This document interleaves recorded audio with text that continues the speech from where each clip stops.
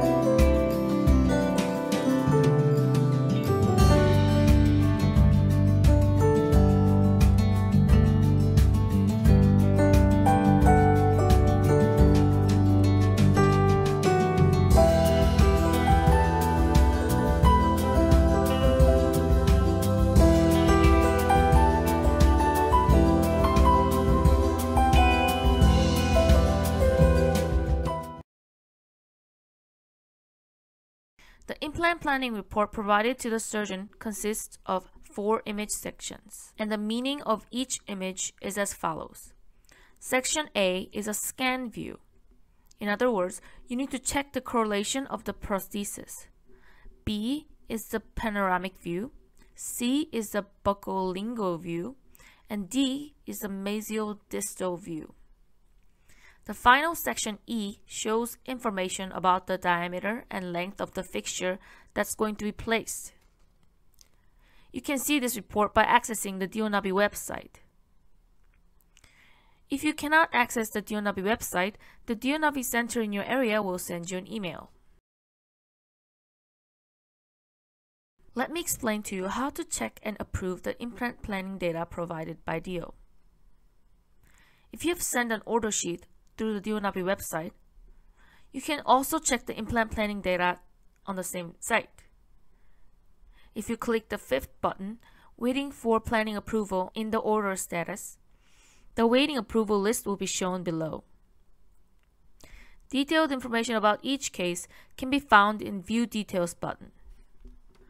You will see a screen like this when you click on the View Details button. When you click on the implant planning screen, it enters full screen mode so you can easily check the contents. And just below, you can write a comment you want to pass to Dio or to the dental technicians. After that, you can use two functions. The confirm button is finalizing this case by approving it. Next to it is the modification request button. Use this when you want to modify the implant planning data provided by Dio. In any case, Dio needs the final approval of the surgeon to start the production and delivery of the DioNavi guide. In this slide, we will learn about the guide design. Here are three key points to know when designing the guides. First, the importance of palatal scans in the maxilla. Second, how to design a guide reinforcement bar. And third, the need for full arch scanning. If the palatal side is not sufficiently scanned during maxillary scanning, the guide will be designed to be placed on the tooth only. In this case, the guide may not be able to be placed flat on the oral cavity and may cause drilling angle deviation during the surgery. What you see on this slide is a guide that has been fabricated after the palatal area has been fully scanned. The guide that was designed with enough palatal area is more stable and balanced when placed on the oral cavity. Therefore, when you design the surgical guide for upper edentulous or multiple implant cases, it is important to scan enough of the palatal side. The second topic is the design concept of the guide reinforcement bar. In the free end case, since there are no teeth to support the guide from the rear, there is a high possibility of movement. Therefore, in this case, the surgeon should fix the guide with hands or tools so that the guide does not tilt while drilling. In addition to these fixing methods, a guide reinforcement bar is attached to the guide to improve the stability of the guide. If you look at the picture on the left, a reinforcement bar has been added so that one end is on the implant placement location and the other end is on the opposite side. On the right picture, this is a guide for placing three implants, 45, 46, and 47. A reinforcement bar was also added so that one end is on the implant placement location and the other on the opposite side. Another case of adding a reinforcement bar. This is a guide for placing implants in 16 and 17. The drawing on the left is the draft design before adding the reinforcement bar, and the right is the finished product. In the free end cases or multiple implant placement cases, the full arch must be accurately scanned, as well as adding reinforcement bars for stable and accurate guide surgery. This is a case scanned using a marker. It is not a free end case, but it is a case that produced an accurate guide by scanning the full arch. If the scanning area is insufficient like this case, precise guide design is difficult the reinforcement bar was not designed properly. As a result, guide tilting may occur from the rear when the guide is seated.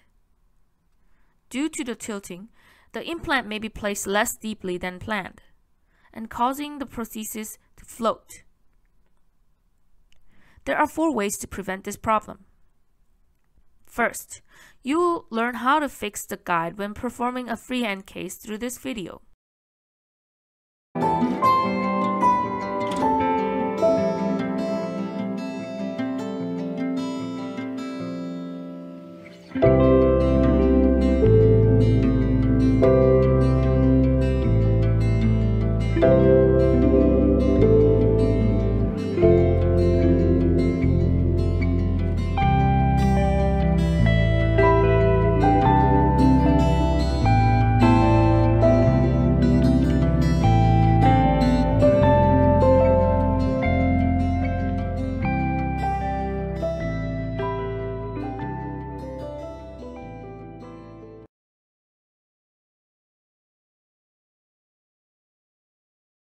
Second, add one more reinforcement bar connected to the first reinforcement bar and the free end part.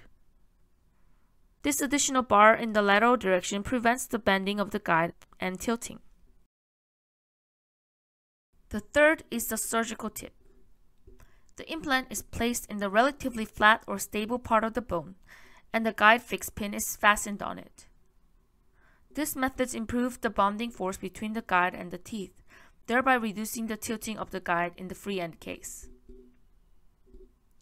Lastly, there is a method of submerging the fixtures 0.5 mm to 1 mm deeper than the original plan. The UF2 fixture has a pitch spacing of 0.85 to 0.9 mm for each thread. So you can submerge to the desired depth simply by turning two-thirds or more. Also, considering that there are three hex sides of the DioNavi implant connector, the submerged depth can be adjusted by turning two sides or just one more turn. This concludes the lecture on design and application of the DioNavi guide. I wish you all success in DioNavi guide surgery. Thank you. This was Dio.